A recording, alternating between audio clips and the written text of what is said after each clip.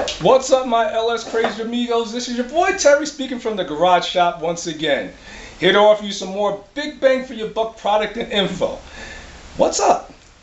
Listen, I get a lot of email. I got a lot of email for, from clips that I a clip that I did a, a while back about deleting the VVT in my Chevelle over here, and uh, I want to answer a few questions that people had. And uh, one of the most common questions was, "What is VVT?" Okay. VVT is variable valve timing. Okay, so basically what happens is the cam will advance and retard itself. So now, all you know, if you're one of those old school uh, distributor guys, you know that if you advance the timing, you get more torque. If you retard it, meaning bringing it back, you get more upper, you know, horsepower. So this is what the the VVT cam sprocket looks like. It looks just like this. This is it right here. Okay. Now what happens is, let me just explain to you what's going on here. Uh, a lot of people who have VVT, they don't, they're not sure, but I'm going to explain to you what's happening. This is not the timing mark. You got this little, I don't know what it is, little straight line going down. That's not the timing mark to line your VVT up with your cam sprocket. No, I'm sorry, your crank sprocket. This, see that, that arrow with this tooth right here? This is where you line up the dimple on the crank on the crank sprocket. All right, not that hole right here. A lot of people think it's that hole. No, no, no, and not this line right here. No, because look, it goes in the middle of the tooth. So no, it's where is it? It's that arrow right there. Is where it's a six o'clock, twelve o'clock, six o'clock, twelve o'clock on the crank sprocket. That's how you do it. You line this up. But if you look at this thing, this thing is kind of kind of beefy. Now this has been phased out, meaning that it has a rev limiter, not rev limiter, um, a phase limiter in it by comp, as you can see. Yeah, almost that. There it is right there. And what it does, it limits the travel of the cam because what's happening is the cam is computer controlled. So when you get a when you get a tune, you, you need to put you need to give the guy the VVT tables, or you can call them up and they'll give you the VVT tables.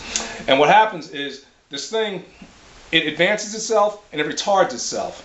So it's kind of a cool little thing, but the, the only downfall, the reason I took it out was these things start making power like around 2,000, 2,500 RPM in my theory. And I guess you can get a smaller cam to, um, to, to, to compensate for it. But the thing is, is that they put these in automatics. GM put these in automatics, but now with the introduction of the LT or reintroduction of the LT uh, engines, manual transmissions are now having these.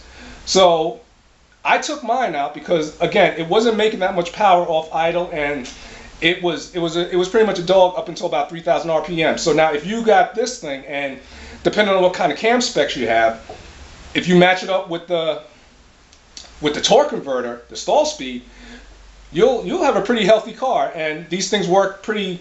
You know, a lot of people are scared of them because they don't know what's up with them, but they work pretty well, but just not for my for my uh, application in a auto, in a manual, it didn't work that great, and I knew that there was a chance that I would have to take the cam out, which I did. So it was just a, a test for testing purposes, and I was like, well, I got nothing to lose, so if it works, it works. If it doesn't, it doesn't. But that's why I took this particular thing out of my uh, my Chevelle. Now, if you've noticed, if you got a, a 6.0 cam sprocket, you see these little designs right here. This is what the cam sensor reads, and the sprocket, the regular cam sprocket, the regular cam sprocket on the LS engine is nowhere near as thick as this. It's a, it's a fraction of what this is.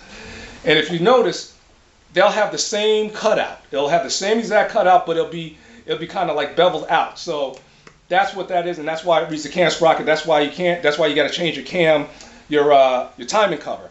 So that's pretty much I have to say about the VVT. I hope this answers all the questions that you have. But if you have any more, you know how to reach me. Oh, and by the way, this, see this? This is different than the cam sprocket that I had. Okay, now this is the VVT, I'm um, sorry, cam bolt. This is the VVT cam bolt. Look how thick this thing is, all right? It goes in just like this. See? Okay, now here is the VVT cam bolt. It's a one bolt, and this is torque to yield. And when I say this thing is torque to yield, what I mean is when you torque this thing down, you, you have to put a degree, a twist on it. And what happens is the bolt actually stretches. The bolt stretches. That's why you only could use this once. This, the head bolts, and the crank bolt, a couple of bolts on the engine, the LS engine, are torque are torque torque to yield, meaning that you can only use it once. Once you torque them down, they stretch and you can't use them again. So this is a one-shot deal and it's a funky looking bolt, but this is what a VVT cam bolt looks like. But that's pretty much it.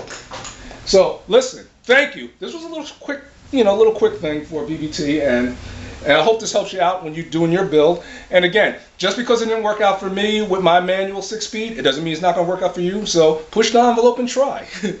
so until the next time we meet, this is Terry. Please, as always, be easy. And I will catch you guys a little later on. Take care.